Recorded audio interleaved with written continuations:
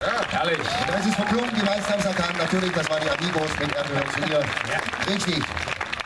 So, in unserem äh, künstlerisch wertvollen Vortrag äh, kommen wir jetzt zum nächsten wichtigen Programmpunkt. Und zwar äh, haben wir die Möglichkeit, wir können Musik zum Zuhören und wir können Musik zum Tanzen spielen. Wer ist bereit, trotz äh, ähm, Tageslicht jetzt schon tänzerisch voll aus sich rauszugehen und sich hier bis zur Halskrause in die Grasnarbe zu tanzen? Mal ein ganz kurzes Handzeichen, dass wir nicht an der Zielgruppe vorbei äh, spielen. Das sind für eine Polonaise noch zu wenig. Gut, äh, dann spielen wir einen schönen Song, der eignet sich zum Zuhören und zum Tanzen, wenn ihr euch schon mal so ein kleines bisschen einwippen wollt. Trotzdem wollen wir schon mal so ein kleines bisschen Publikumsbeteiligung an dieser Stelle provozieren. Äh, wir sitzen im Grün, es ist äh, taghell, das ist der sogenannte ZDF-Fernsehgarteneffekt. Deswegen wäre es jetzt sehr schön, wenn ihr den Rhythmus ein bisschen mitklatschen könntet. Für einen wunderbaren Song, der nennt sich Rockin' Robin. Einmal bitte die Hände und zwar zwei pro Person wären ideal.